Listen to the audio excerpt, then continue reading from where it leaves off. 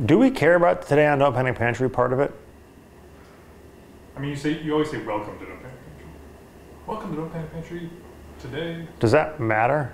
Today on Don't Panic Pantry, we are making a vegetarian pasta primavera with three colors of vegetables. Diced up broccoli, cauliflower, and red bell pepper get sauteed with aromatics and fresh herbs, then tossed with orecchiette for a delicious, easy weeknight dinner. Hmm.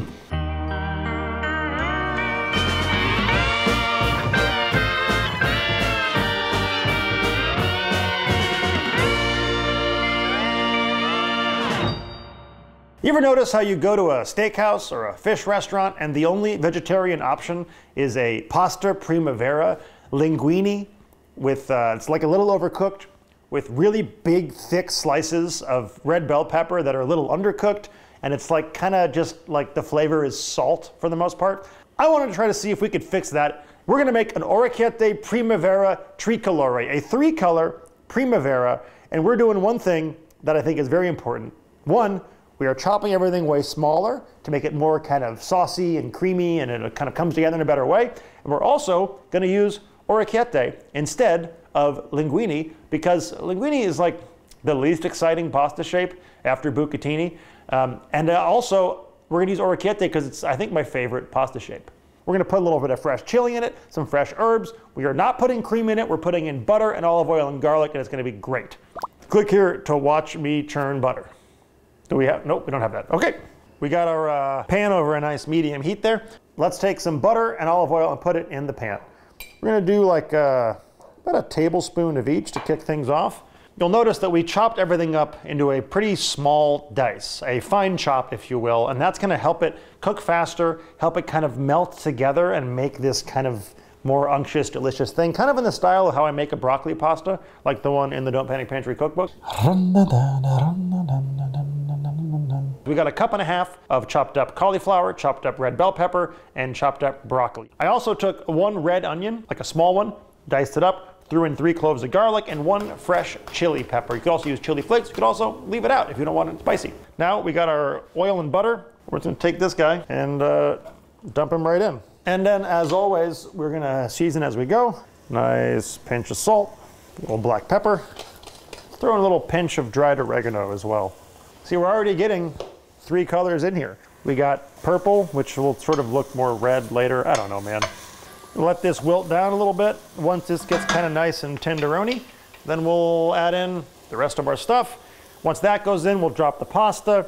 Then we can start pasta watering in uh, because broccoli and cauliflower both eat a lot of oil.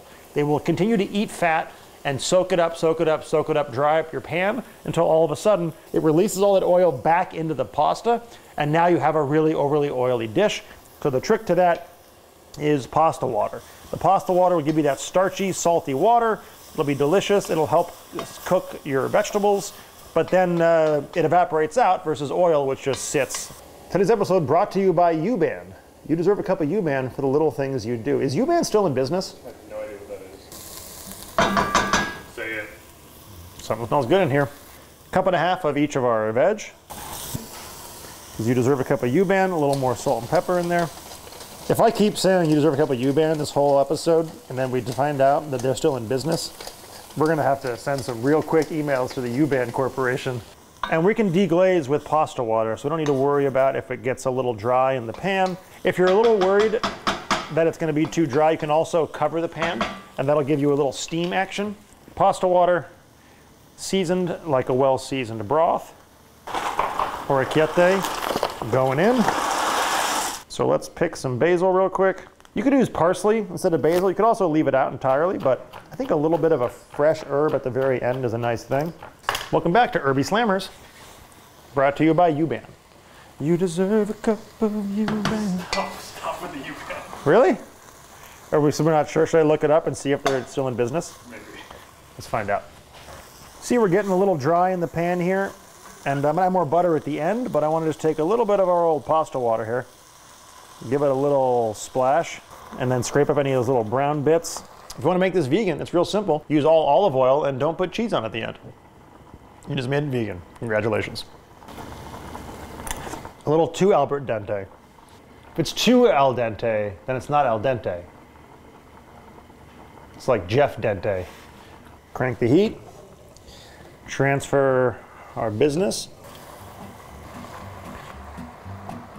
And now we can throw in another little pat of butter and another little sluice of pasta water.